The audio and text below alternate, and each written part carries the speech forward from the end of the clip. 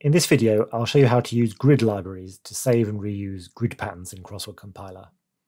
The program comes with quite a lot of grid patterns for different styles of puzzle. For example, Cryptic or Quick is one set of grids, American is another set of grid patterns, and there's also barred and clues in squares and shapes. So whenever you choose one of these options and choose a size, you are then presented with the grid patterns that exist in one of the provided grid libraries. So you can see here there's a grid library selection and you can change the grid library if you want to use one of the different ones. So if I wanted to view the American one, I could click that and then I would get American style grids. These grid libraries are supplied, but you can also create your own grid patterns and add them to grid libraries or make your own entirely new grid libraries. You could access your new grid libraries from any of these existing buttons, or you could make a custom template uh, with a name that matches your grid library, and then you'd have your own custom workflow. So I'll give you an example of how to design a new grid pattern and add it to a library. So let's make a shape pattern because that's the most interesting and perhaps the most difficult to design. So I'm going to click on the shape button and you'll see that quite a few interesting shapes are provided with the program but there may well be some other shape that you want to design yourself. If you just want to make one puzzle, of course, there's absolutely no need to add your shape to a grid library. But if it's something you might want to reuse, maybe you're a teacher in some topic and there's some particular set of common shapes relevant for your subject, and you want to reuse them, you might want to save the shapes for reuse the next year. So you could add them to the shape grid library or make your own grid library containing your own particular set of patterns. So if you want to use one of these grids and fill it with words, you just use use shape. Here I'm going to click design new shape. So let's say um, I want to make something of a house picture, but this one doesn't look particularly like the house that I want it to look like. So I'm going to design my own house-like shape. So I'll click design new shape and now choose a size. Uh, so the house I'm thinking of is more high than it is wide, so I'm going to choose something like uh, 24. It doesn't matter if you don't get this quite right at the beginning. You can change the size later if necessary. So use custom size. And that will start with a new empty grid that you can then design your shape in. So to design a shape, what you want to do is remove squares from this grid. And to do that, you just select some squares and press Control plus Delete. That converts them to what Crossword Compiler calls a void. So there's that, it's not a square, it's not a block, it doesn't have anything in it.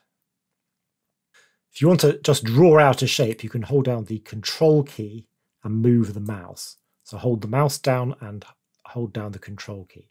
So if I wanted to block out this whole region at the top here, I could just move the mouse holding down the Control key until all the squares I want to remove are selected. It doesn't matter if you re-select squares that are already removed, then press Control Delete, and that will remove them. So if I continue, I want to remove the ones on this side.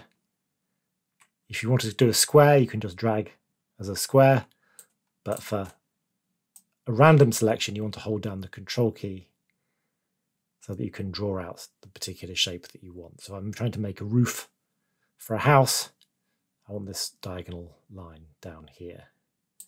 And I press Control plus Delete, making something like a door. I can just drag out a square block very quickly and press Control Delete. Likewise for adding windows where I want them. Maybe you're going to have two windows in this house. And now you have your grid pattern. If you want to fill it with words, you can go to words, create vocabulary puzzle, add your words, select whichever word list you want, or add your own words, build puzzle, and it will then fit them into the grid for you.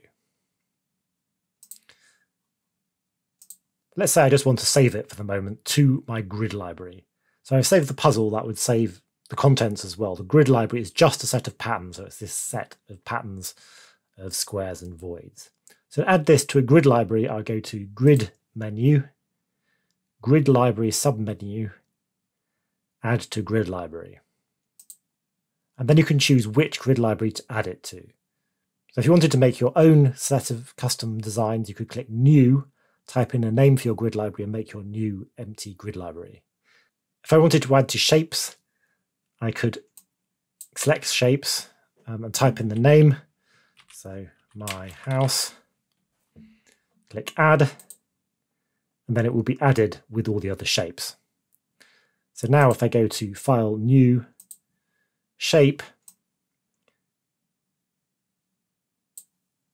I should find my house is here and I can select it and reuse it. If I want to delete a grid, I can just select it here and press delete key on the keyboard and it's been deleted or removed. If you're designing your grid and you find that you run out of space where you, maybe you remember or think that perhaps I want to add a garage onto the side here, so I better make it wider than I originally started from.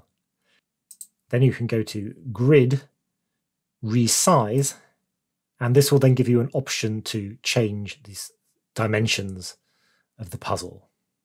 So as long as you only want to expand it, this is quite easy. You can just choose a new width. So maybe if I wanted to make it 25 wide, uh, voids is correct for the new squares here if I want them to be blank, or I could choose empty letters.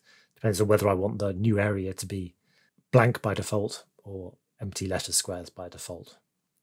If you're trying to add to the left or to the top, you might have to change the offset of the original shape by adjusting these settings up here. But just to increase the width, it's straightforward. Click OK, and then you'll stand up with a wider grid pattern. Now if I want to add my garage on here, so here I've got voids, and I can convert them back to letter squares just by pressing delete. So control plus delete converts letter squares to voids. If you've got voids, you want to go back to letter squares, just press delete on its own. Some other options you might want to use in the grid library submenu. Add patterns from files might be useful if you've got a set of old puzzle files in some format and you want to add them. Or if you can download puzzles from the internet in various formats, you may be able to extract grid patterns from those if you know there are patterns there that you're particularly interested in reusing for some reason. If I didn't like the shape I'm using now, but wanted to use an existing pattern of this size in a grid library, I could just use use grid library.